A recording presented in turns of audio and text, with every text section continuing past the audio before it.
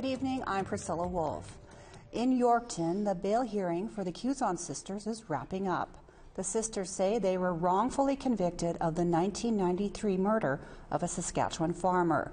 After spending nearly 30 years in prison, support from advocates across the country is pouring in. Tamara Pimentel has the story. On day two of a bail hearing and on her 51st birthday, Odelia Quewezance looks back at a lifetime institutionalized. I was talking to my oldest daughter, Haley, and she was mentioning, she was like, wow, mom, you're 51 today, and you were in uh, prison 30 years and four or five years in a boarding school, so I've been confined most of my life. She and her sister, Nerissa, arrived at the Yorkton courthouse Wednesday with support from family and advocates, pushing for the two to be released after spending 30 years in prison for a murder their cousin confessed to. Advocates Nicole Porter and Dan Godberzen partnered with Change.org to create a petition to free the Quewezance sisters. They've so far received over 60,000 signatures. We wanted the country as a whole to know how many concerned citizens there are, uh, and we would like to see ultimately uh, the Justice Minister in Saskatchewan make attempts at reconciliation here. So, our big goal was to deliver uh, these signatures to her. Godberzen wasn't successful in submitting the petition while spending Tuesday outside the Saskatchewan legislature. But signatures are still rolling in from across the country and some from the states. I'm here for the sisters, the miscarriage of justice. This is 30 years, and um, it's just deplorable. Senator Kim Pate used to be the executive director of the Elizabeth Fry Society, supporting women in jail. She said she met the sisters when they were first incarcerated. So, what's really important for people to know is all of those breaches, in almost every case, they were continuing to live their lives. They were contributing to the community. I mean, when, a, when Nerissa was unlawfully at large for over two years. She was actually working with people in the downtown east side. She was sheltering animals and fostering them. She was uh, she was working. She was not posing a risk to public safety. And that what the judge has to look at is will releasing these two women on bail pending the review of their wrongful convictions result in a risk to public safety? And the, I think the very clear answer is no. The judge won't be making a decision for at least another month. But Odelia says she refuses to give up hope for a positive outcome. This should be reconciliation today. And I still believe in my heart that everything's going to work out today. And I just keep praying every day. My team wouldn't be here if they didn't believe we were innocent. Tamara Pimentel, APTN National News, Yorkton. The details of the 1993 murder and trial were front and center at Wednesday's hearings. APTN's Danielle Paradis was there listening to the extensive testimony, including how the two sides saw the murder and trial in very different ways. Danielle, there were two competing messages at the bail hearing today. Let's start with what the sisters' lawyers were saying. What was the main argument? The main argument of the sisters' lawyers is that the sisters have been mistreated. Uh, there was a lot of focus on the fact that the police ignored a judge's order to remand them to a prison in Prince Albert and instead kept them in a local detachment where they were questioned uh, against the advice of their counsel. Uh, there was also a discussion on the treatment of Indigenous people and the way that we've interacted with the uh, judicial system and a focus on how uh, we know more more about false confessions, uh, which uh, James Lockyer has said that that's what the sisters' confession was, was a false confession. And, and now keeping in mind that false confession, that we need to re-examine uh, the sisters' case. Okay. So the Crown is using the sisters' criminal history against them, but also going back to discuss the murder and trial. What message did Saskatchewan put forward? The Saskatchewan Prosecutor's Office focused on the sisters' uh, repeated breaches of parole and times that they were unlawfully at large, so times that they had left prison, um, to talk about community safety and whether or not that would be a concern, as well as a focus on the sisters' substance abuse issues both in the past and more recently. So did the judge have anything to say during today's testimony, one way or the other? The judge hasn't uh, weighed in one way or another. We're still waiting on a decision. Uh, that'll be a few weeks from now. However, uh, before I left the court, the judge was saying that he would prefer more information about a release plan for the sisters before making a decision. What's next, Danielle? This was the last day of the hearing, and um, right now they're just discussing when they should reconvene to discuss the details of a release plan. So we won't see a decision for four to six weeks. Okay, well, thank you so much for joining us. Thank you. We want to hear what you think about the exact story that you just saw. Here's how to continue the conversation. Send your emails to news at aptn.ca. Leave a comment on aptnnews.ca. You can also find us on Facebook, Twitter, Instagram, YouTube, and TikTok. Follow APTN News to join the conversation and see our latest stories. Time for our first break. We'll be right back. A possible case of gerrymandering has a Nova Scotia MP up in arms. Came as a, as a, as a total shock and, and something that I never thought was possible.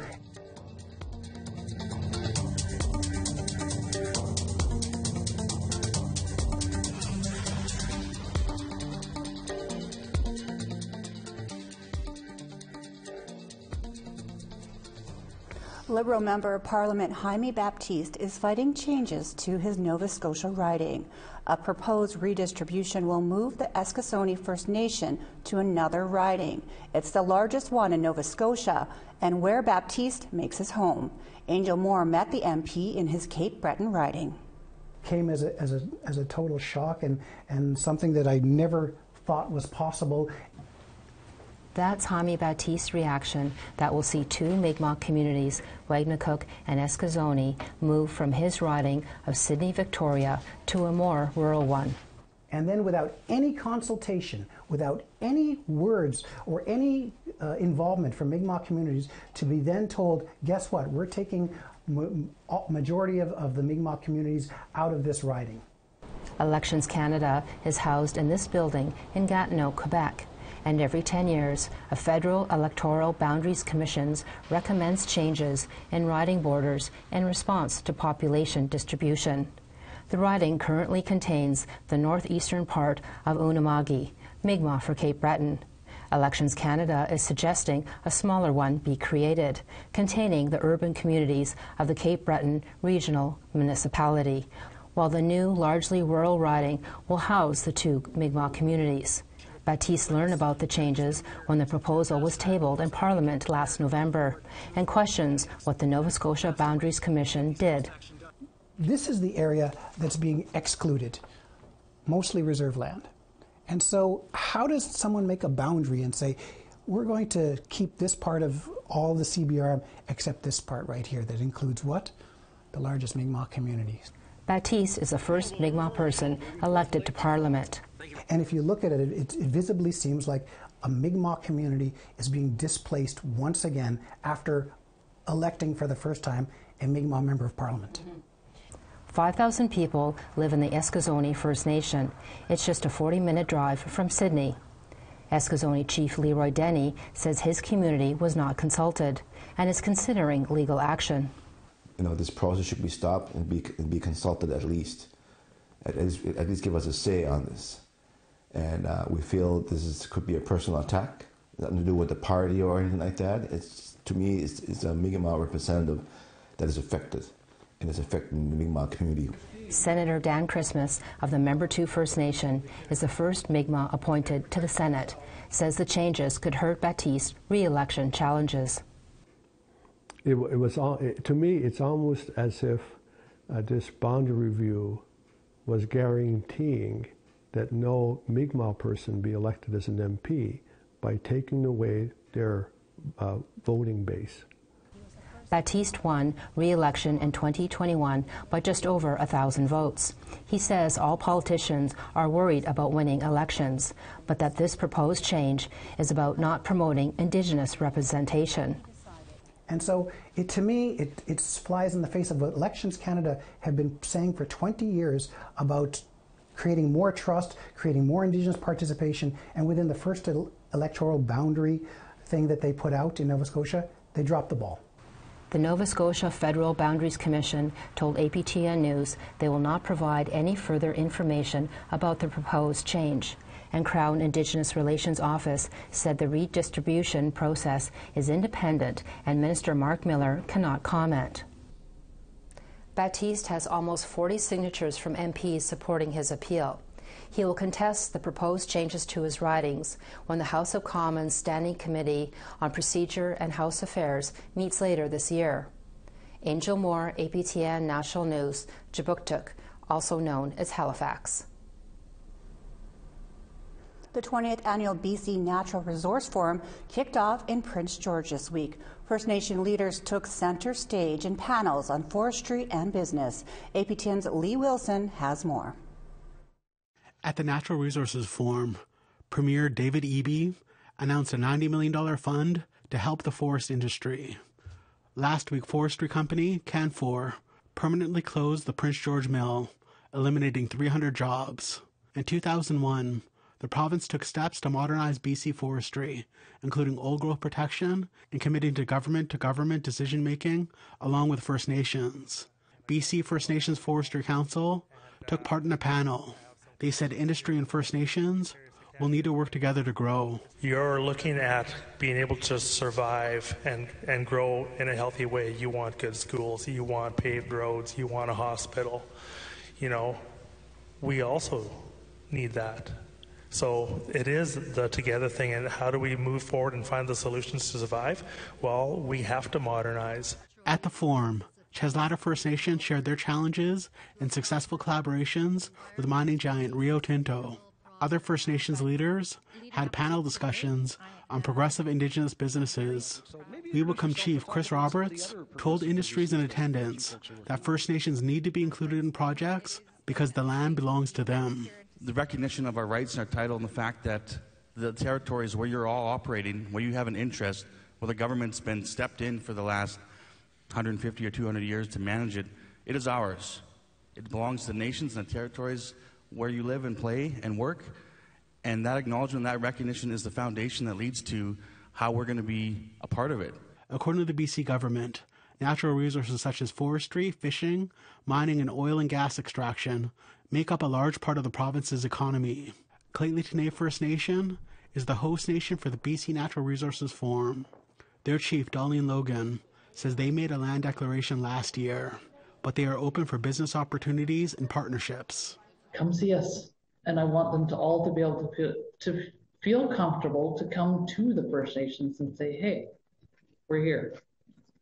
That's what I want out of this. I want them, I want the government and the industries to come to Lheidli T'enneh first. This is Lheidli T'enneh's territory, as in our declaration. Come to us first. The forum will continue with talks on strengthening the natural resource sector workforce and bringing new investment into BC. Lee Wilson, APTN National News, Kitimat. Time for another break. We'll be right back. Coming up after the break, a Saskatchewan First Nation athlete tries to wrestle his way into the big circuits. All Elite Wrestling, for those who might not know, they're the second biggest uh, TV wrestling company in North America behind the WWE.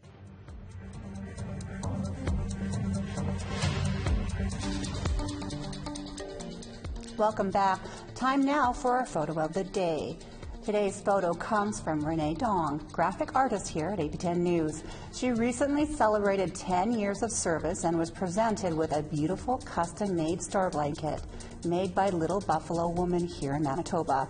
Congrats, Renee. If you want to be featured as our photo of the day, email your shots to share at aptn.ca. Now let's take a look at tomorrow's weather forecast. We'll start out east. It is 2 in Halifax and 0 in Charlottetown. It is for, minus 14 in Nain and minus 10 in Happy Valley Goose Bay. Minus 1 in Quebec City, minus 3 in Montreal plus 4 in London, and 9 in Windsor. Minus 5 in Thunder Bay, and minus 8 in Timmins. Minus 8 in Norway House, and minus 9 in Thompson. Minus 8 in Winnipeg, and minus 8 in Brandon.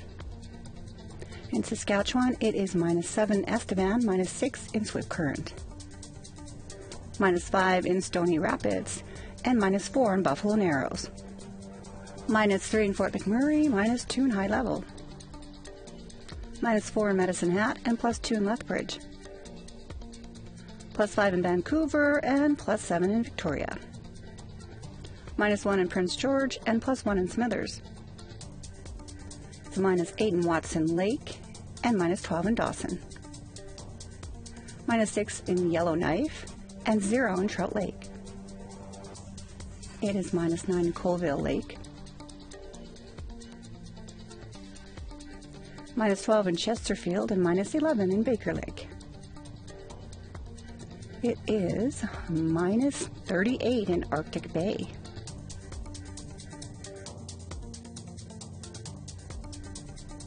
The United States' biggest independent film festival, Sundance, is set to kick off tomorrow. And among its offerings this year is a documentary series exploring the murder and missing Indigenous women and girls crisis in Bighorn, Montana. Considered to be the most dangerous place in the country for Native American women. Here's Lindsay Richardson with a preview.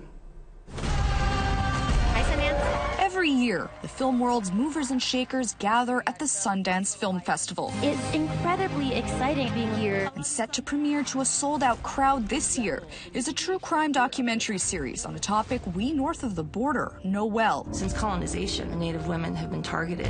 The three part series, Murder in Bighorn, explores MMIWG cases in the Crow and Northern Cheyenne reservations of Bighorn County, Montana. You can get killed real easily around here. The series is co produced by Blackfeet siblings Ivy and Ivan McDonald.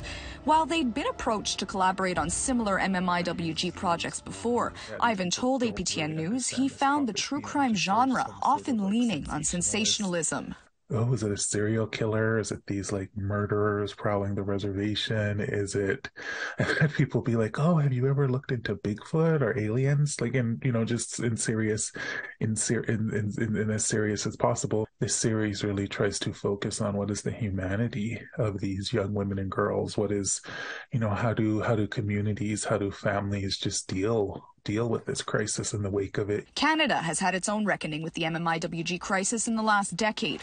Most recently, the federal government appointed Jennifer Rattray to create an ombudsperson's office to oversee application of the MMIWG Commission's 274 calls to action, while advocates across the country are keeping pressure on Winnipeg police to properly investigate a series of murders of homeless Indigenous women. I think Canada in some ways, for better or worse, has kind of at least broached the kind of national conversation. So I think within the United States, I think it's really, I think it really is kind of this newer topic, even in some indigenous communities. The murder rate for women living on reservations in the U.S. is 10 times higher than the national average, but cases often go unsolved due to a lack of investigative resources available. Back in 2020, the Trump administration signed in the Operation Lady Justice Task Force force to try and curb this issue.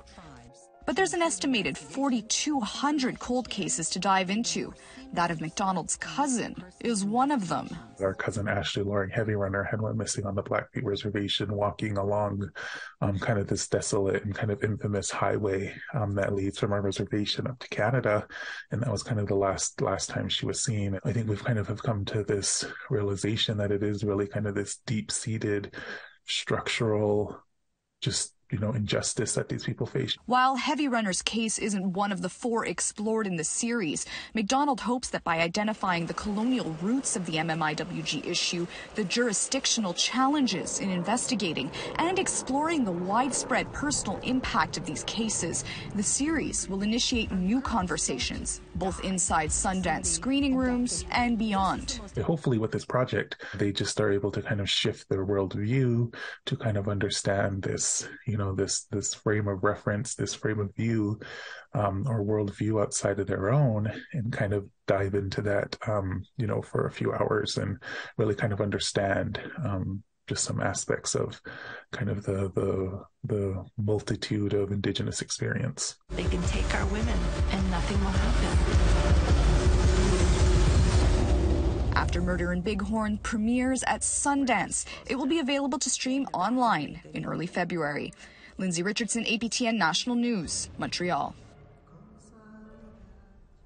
Sebastian Wolf is Cree from the Pasqua First Nation in Saskatchewan. Recently, Wolf had his big break in the AEW, the All Elite Wrestling League. He's not officially on the AEW's roster yet, but he did compete on last week's fight card, which aired on the league's YouTube channel. Wolf says it was unexpected and he was called in at the last minute as an extra, but it was a dream come true for Wolf, who is 33. One of his opponents was Matt Hardy, a childhood hero. Wolf's three on three team lost the match, but now he's hoping to make it on the AEW's roster permanently. All Elite Wrestling, for those who might not know, they're the second biggest uh, TV wrestling company in North America behind the WWE. So it was a pretty big deal. They have national TV programs on weekly and it's uh yeah um that came about i had a connection there and they got in contact with me on today's episode of In Focus, host Daryl Stranger talked to advocates who are out there to help those who are houseless. Here's what they said to helping those out who have nowhere to go. I think our city has been tremendous in, in having a desire to help, but they don't always know how, and they don't know, you know, you don't always have to create your own platform, but you can utilize existing ones. We've had some tremendous groups that have been existing for a long time doing what we call heart work. You know, an example is Mama Bear Clan uh, Community 204, we all utilize social media. That's kind of the trend nowadays to get your message and spread that awareness. Right. You know, join those groups and kind of recognize the call outs that they put. You know, j- join in on things, join in on activism. Um, you know, realize that helping someone doesn't require much from you. Sometimes it's just time, sometimes it's effort. For some places, uh, you know, uh, people aren't biased the way they should be. You know, um, if they know, you know, this certain uh, client or applicant or whatever homeless person um, has a problem. Uh, they don't they don't address the problem. They address the person, which makes it harder for the person to try and get you know shelter. Um, it, it's I think it's a missing link to a lot of our people's healing because we go into the, we go into those comfort zones. Uh, it's a back alley, a doorway, or in, in our in our in our villages communities, we go into their their houses, knock on their door, we pick them up out of the alley and say, "Come on, let's go for a coffee." Gain that trust, you know, because that trust is a big issue, and you know we start we start from there. You know, I, I truly believe that uh, one small act of kindness can make a world of difference. You know, just say hello, check on somebody. You know, give them a hug, ask them how they're doing, not what they're doing. It's all an approach to things. You know, if we approach somebody with care, we're going to make a lot of difference. That's your show for tonight. I'm Priscilla Wolf. Have a great evening.